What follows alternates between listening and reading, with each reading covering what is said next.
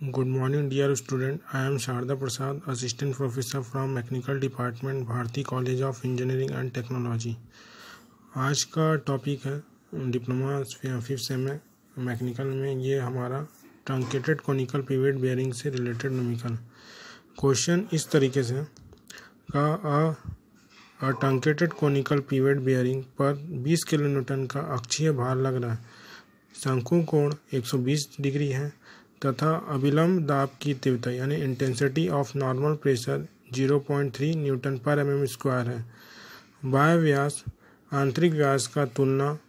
दुगना है। यदि साफ्ट 250 आरपीएम पर घूम रही है तो घर्षण गुणांक 0.15 मान लिया जाए तो ज्ञात कीजिए। बियरिंग की सतह के आंतरिक एवं बाह्य त्रिज्याएँ सेकंड घर्षण में शोषित शक्ति और थर्ड एक समान इसमें एक समान यूनिफॉर्म के लिए निकालना है वैल्यू तो क्वेश्चन में पहले पढ़ लेते हैं। गिवन डाटा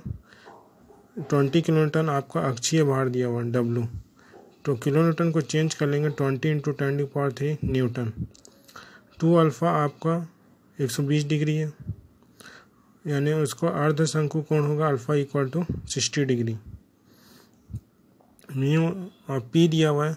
अभिलंब की तीव्रता स्मॉल पी एन तो ज़ीरो पॉइंट थ्री न्यूटन पर एम एम स्क्वायर, और कैपिटल एन है two fifty R P M, और घर्षण गुणांक mu equal to zero point one five. तो ये क्वेश्चन में यहाँ तक दिया हुआ है। अब बियरिंग की आंतरिक एवं बाह्य त्रिज्याएँ, माना कि आर वन व आर टू। बाह्य बियरिंग की आंतरिक त्रिज्या R one equal to two R two one, question में दिया हुआ था। अभिलंब दाब की तीव्रता P N is equal to capital W divide by pi R one का स्क्वायर माइनस आर टू का स्क्वायर तो यहाँ पे ज़ीरो पॉइंट थ्री की वैल्यू रखेंगे ten into ten power three W की वैल्यू और आर वन की जगह क्या रखेंगे? टू आर टू का स्क्वायर माइनस आर टू का स्क्वायर तो यहाँ से वैल्यू को निकाल के सॉल्व कर लेंगे और उसका आएगा two point two one three divide by R two का स्क्वायर इससे सॉल्व करने के बाद आर टू का square equal to seven point zero seven into ten two power three R two equal to eighty four M M आएगा। तो are two की value को यहाँ पुटअप करेंगे तो आर वन आएगा one sixty eight M M आएगा। यदि घर्षण को शोषित शक्ति एक समान दाब के लिए घर्षण ऐठन आगुण T is equal to two by three mu into W cosec alpha R one का क्यूब माइनस आर टू का क्यूब माइनस आर वन का स्क्वायर माइनस आर टू का स्क्वायर तो T is equal to two by three zero point one five into twenty into ten two power three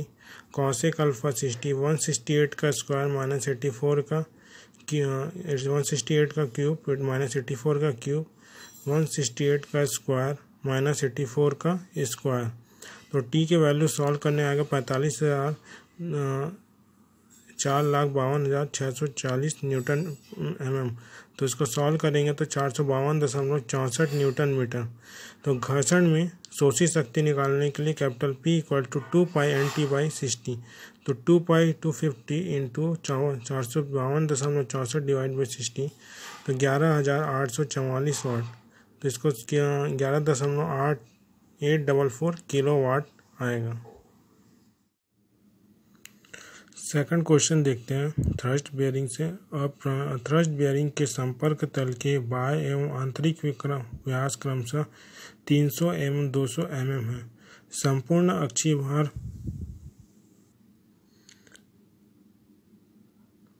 संपूर्ण अक्षीय भार 75 kilo Newton और दाब की तीव्रता 300 किलो न्यूटन पर एम एम स्क्वायर है. साफ्ट 400 आरपीएम पर घूमती है. घर्षण गुणांक पॉइंट वन तथा दाब की तीव्रता एक समान मानकर घर्षण के कारण शक्ति में होने वाली हानि ज्ञात कीजिए। बियरिंग के लिए आवश्यक कालोरों की संख्या भी ज्ञात कीजिए। दिया गया है, संपर्क तल का बाह्य व्यास D one equal to three hundred M यानी ज़ीरो पॉइंट थ्री मीटर। तल की बाह्य त्रिज्या R one equal to point one five metre. संपर्क तल का आंतरिक व्यास D two equal to two hundred M M point two metre. तल की आंतरिक त्रिज्या R two equal to point one metre तो संपूर्ण भार capital W equal to seventy five kilometre question में दिया हुआ था, इसको हम न्यूटन में चेंज करेंगे। Seventy five into ten two power three newton mu equal to zero point one N equal to four hundred R P M और pressure है three hundred into ten two power three newton पर metre square जब दाब की तीव्रता एक समान मानकर घन T equal to two by three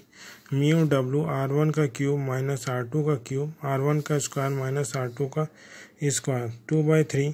mu zero point one into seventy five into ten power three तो पॉइंट वन फाइव का क्यूब माइनस पॉइंट वन का cube zero point one five का क्यूब माइनस पॉइंट वन तो five thousand into point two six two one three one zero newton metre आसक्ति में हानि two pi N T by sixty, two pi into four hundred into one three one zero divide by sixty, चौवन हज़ार आठ सौ seven, आठ सौ तिहत्तर watt, four fifty four point eight seven three kilowatt में चेंज कर दें। तो भार प्रति collar small P pi R one का स्क्वायर माइनस आर टू का स्क्वायर तो three hundred into ten two power three into pi zero point one five का स्क्वायर माइनस पॉइंट वन का स्क्वायर तो ग्यारह हज़ार सात सौ इक्यासी न्यूटन। कॉलरों की संख्या, कैपिटल डब्ल्यू भार प्रति collar, seventy five into ten to power three ग्यारह हज़ार सात सौ इक्यासी six point three six nine seven ये हमारा कॉलर की संख्या छः आएगी। नेक्स्ट क्वेश्चन है। मैरिंग इंजन में लगे प्रोपेलर शाफ्ट में लगे गए कई कॉलरों पर थ्रस्ट लिया जाता है। साफ्ट का प्रणोद यानी डब्लू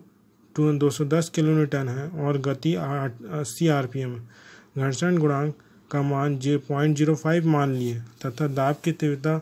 एक समान एवं पॉइंट थ्री न्यूटन पर एम एम स्क्वायर लीजिए।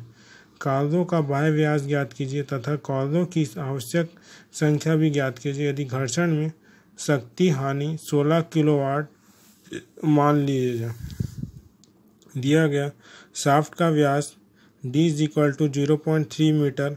यदि त्रिज्या R two equal to point one five metre प्रणोट W equal to दो सौ दस किलो न्यूटन दो सौ दस into ten power three newton N equal to अस्सी आर पी एम घर्षण गुणांक पॉइंट ज़ीरो फाइव दाब की तीव्रता small P point three newton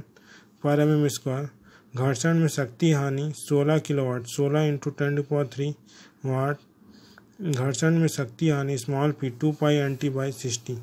सोलह into ten power three two pi eighty into T divide by sixty तो T की value आएगी सॉल्व करने के बाद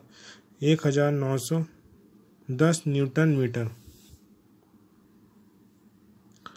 कॉर्दो का बाह्य व्यास डी वन इक्वल टू कॉर्दो का बाह्य व्यास टू आर वन एक समान प्रेशर के लिए कुल घर्षण एठन आगुण यानी टी इक्वल टू निकालना पड़ेगा two by three mu W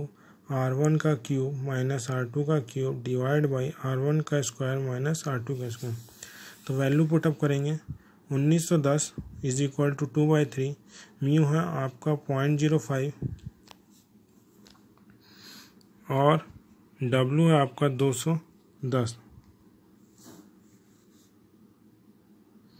दो सौ दस into ten to power three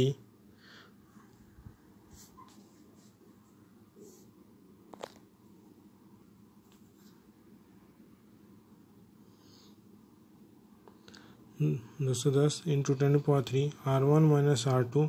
bracket में आर वन का स्क्वायर प्लस आर टू का square R one into R two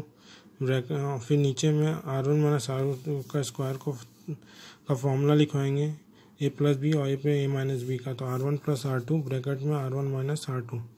तो इसको सॉल्व करेंगे तो सेवन हंड्रेड आर वन का square zero point seven seven thousand R one का square plus R two का square plus R one into R two divide by R one plus R two तो seven thousand R one का square zero point one five का square इसको रखेंगे plus zero point five R one तो R one plus point one five तो इसको solve करने के बाद आएगा उन्नीस सौ दस into R one plus zero point one five equal to seven thousand R one का square minus zero point five R one plus zero point point two two five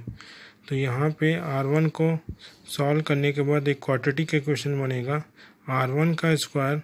minus zero point one two three R one point G minus G point zero one seven five is equal to zero. इस समीकरण को हल करने के लिए तो R one is equal to zero point one two three plus minus root over point one three का square four into point zero one seven five. तो R one equal to point one two three plus minus point two nine one divide by two.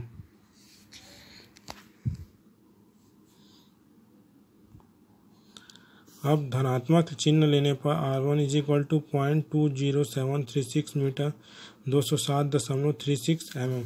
और D one equal to two R one two is equal to into zero two zero seven point three six तो चार सौ चौदह दशमलव सात दो M M कॉलों की संख्या एन इक्वल टू कॉलों की आवश्यक संख्या दाब तीव्रता इक्वल पी